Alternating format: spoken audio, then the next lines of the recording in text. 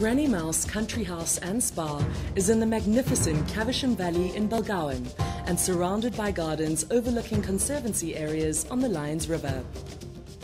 This classic country house hotel, with its reputation for excellence, is located an hour and a half from Durban and four and a half hours from Johannesburg.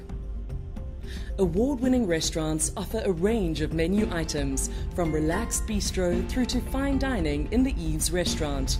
The refurbished property has retained its reputation for a relaxed gourmet experience.